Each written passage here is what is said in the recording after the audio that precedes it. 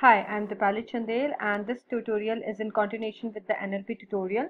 So uh, in the previous class we had completed till the bag of words. Now we're going to start from the text classification. Okay. So what is basically the text classification? See, classifying the text. Okay. So we have several application of this, uh, you know, this process. So what are the application like sentiment analysis, intention mining and spam filtering. What is sentiment analysis?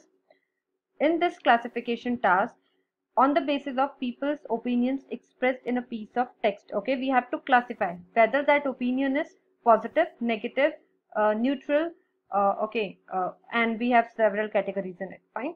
Now coming to the intention mining, in intention mining on the basis of a, um, uh, okay, on a basis uh, of a, per a person's uh, text, we're gonna find out the intention for the future de decision regarding anything okay? So that is intention mining. Now coming to, coming to the spam filtering. So what is spam spam filtering? This is very this is mostly used we can say task over here. So what happens in this? In this we're gonna filter which email to will go to the spam and ham. Like ham will be non-spam okay? So in spam filtering this is very matured field in the text classification. Over there uh, we gonna uh, like using this spam filtering technique we're gonna filter which email will go to the spam folder and which uh, email will go on will go into the inbox that is ham folder that is non-spam. Fine? Now as we know like machine learning algorithms works well with the numbers but when it comes to the text we need to pre-process uh, that text to make our model predict well fine. Now we will include certain um, you know certain steps for pre-processing the text for uh, for our spam filtering program. Okay. Now for that simple i'm just reading my data. My data is data.csv which is my uh, sms data. Fine. Now with the help of pandas first i imported the pandas and then with the read function i'm reading that data. So you can see v1 folder contain the categories whether uh, the sms is ham or spam and v2 uh, v2 column contains the messages. Fine? Now coming further we will import regex re we will import nltk then uh, in the library uh, of the nltk the tokenized library from that we're gonna import word tokenize and we're gonna use it as wt fine? Now from the nltk.corpus library that is from the nltk it's uh, from its corpus library we're to import the stop words. Then further from the nltk uh, from its stem library we're to import the porter function or porter class. Okay? And from that we're to use porter stemmer class. Fine now we're to create the object for that. That with the name stemmer as you can see over here. Now i'm creating an empty list with the name data. Now i'm creating a for loop over here writing a for loop over here. So this for loop will go from uh, starting from the uh, as we can see what is the shape of the data set? How many rows and how many columns? 5572 rows and 5 columns okay? So shape 0 represent we want to access the rows. So this i variable will gonna access each row okay? Now coming over here from that data set i want to access each row and v2 column. In each row v2 column. So we can say we want to access the v2 column for each row and that data will be stored in the sms now in on that sms we're gonna apply this regex expression. So what it gonna do? It gonna replace all non-alphabetical characters like punctuation symbols and everything with the space. Okay? With this space it gonna replace so it's gonna replace all non-alphabetical characters like uh, punctuation, symbols or numbers with space. Fine. Now we're gonna uh, we're gonna lower all the words. Uh, we're gonna convert all the words to the uh, lower. Then we're gonna use word tokenizer. Okay, we're gonna use word tokenizer. Tokenizer. So we are converting all the sentence in the words format. Okay, the list of words. Fine. Now we want to remove stop words and we want to do the stemming so what we're gonna do over here? First of all i'm creating an empty list with the name sms processed.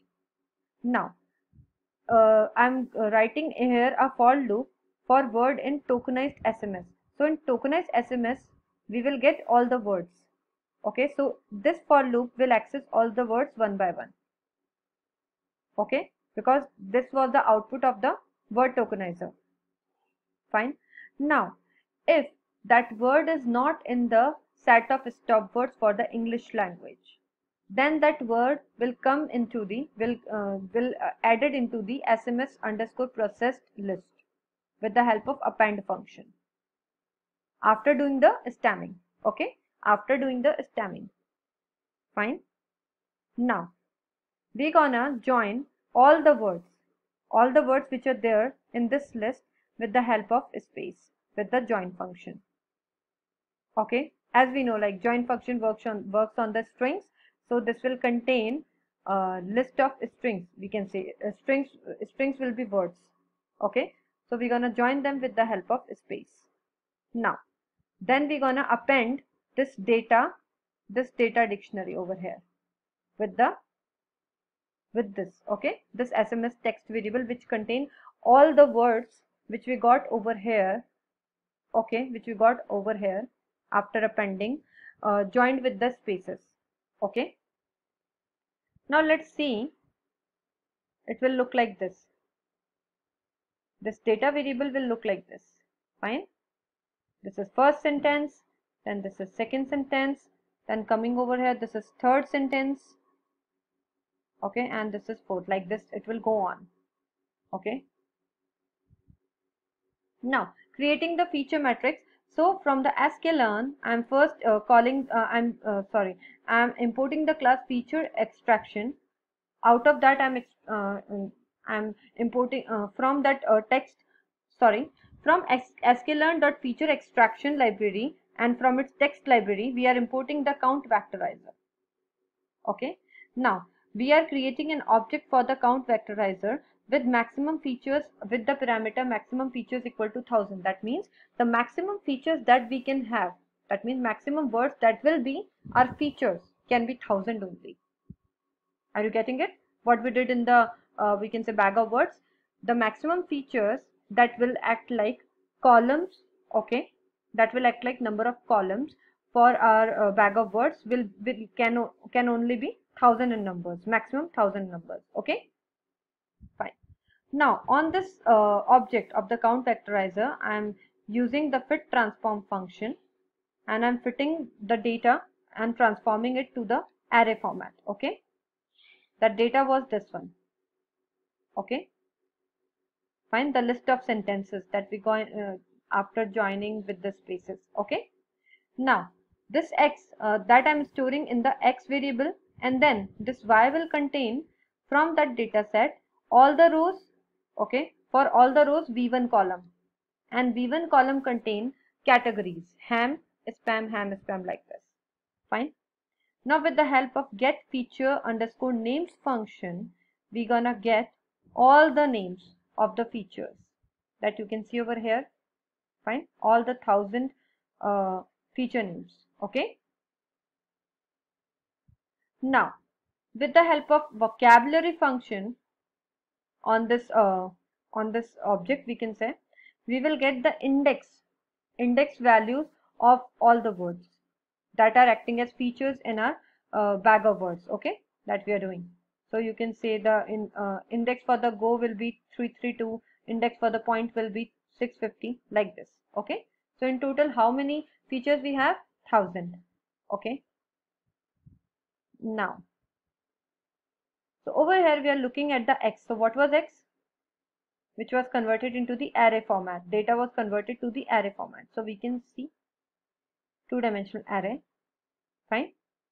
Now that means this will be this in total will be 505 uh, 5572 something right? So these one dimensional array will be in those in those those in numbers 5000 approximately. Okay now x0 that means we want to see the first uh, row. Okay so this first row is this one. That means this row we want to access. So this is that huge you can see. Bag of first row of bag of words you could say. Okay. So it will indicate like how many times that word is particularly coming in the first message. Then uh, if we write over here x1 then for the second message it will print okay now length of the x1 and x0 will be same that is 1000 as we know we have already fixed the maximum features can be 1000 okay now doing the uh, train tra uh, test split so from the sklearn library and from its model selection module, I'm importing the train test split cl uh, class or function. So what it gonna do? It gonna split the x and y. x is my independent variable and y is my dependent variable. So what is y train? We just wanna look at y train. So y train is this one, that column that we got like ham, spam and all. Fine. Now from sklearn.naive Bayes uh, module, we're going to import the Gaussian naive Bayes. How, why we, why I'm using the uh, naive Bayes? Because few years, uh, few, uh, few years back, naive Bayes algorithm outperformed and give better result as compared to other algorithms in the case of text classification. That's why over here we are using the naive Bayes. Okay, out of that Gaussian naive Bayes. Now this classifier gonna uh, be used over here so we are we are using the fit function to fit the train x train data and y train data okay now let's look at x test. What is x test? So this is our x test. Now we're gonna predict on this x test. As we know like we predict on testing data. So we're gonna predict on the test data. So y predict is equal to classifier dot predict x test. Fine. Now let's see. Okay, so what is y predict?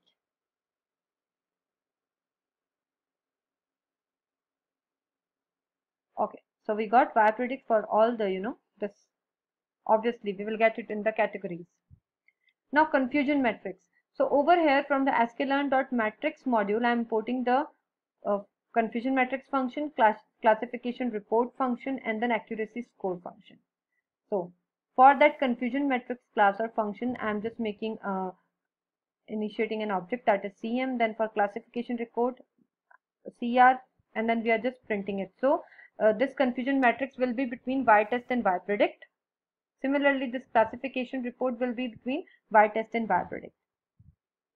And again, we, you can see this is my output of the confusion matrix. So you can see over here this is we can say this is error and this is error okay fine and these two are correct predictions now let's see what does this classification report uh, tells us? So over here you can see precision is 0.98 for the ham. And precision we know it works on the prediction. So predicted out of the predicted class okay predicted positive we can say predicted positive for the ham 0.9 uh, like how many of the uh, were predicted correctly out of the predicted positive for the ham? So 98% were predicted uh, correctly okay? Were classified correctly out of the predicted positive for the ham category. Okay? Now coming to the spam one. So 38% out of all the um, predicted uh, positive for the spam category 38% were predicted correctly. Okay, now coming to the recall, out of all the actual uh, ham categories, uh, 79 were predicted correctly, 79%. And over here, out of all the actual spam categories, 89% were predicted correctly. Okay, now over here for the ham, you can see 87% is the F1 score and ham uh, for spam it is 53. Now coming to the overall overall accuracy with the accuracy score function between y test and y predict we got 79.9 okay. Fine. Now let's predict for completely new message so over here you can see we uh, i have created a function. So in this i'm passing three variables. Classifier list of messages and cv so list of messages first of all gonna transform the list of messages to array format. Then we go, it gonna return classifier dot predict for the list of messages. Okay? Now this sentences we're gonna pass this there are two strings in the uh, in the list sentences so we're gonna pass it inside the pred function okay? And this classifier variable will be this one object of this gaussian naive Bayes that we already created.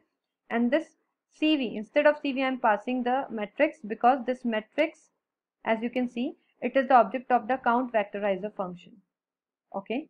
So we are passing these three in the pred function and we got it like first message this is ham and this one is spam as you can see ham and spam i hope this was clear to you. So over here i am wrapping up the nlp basics. That was nltk okay? And uh, okay. Thank you very much guys for listening to me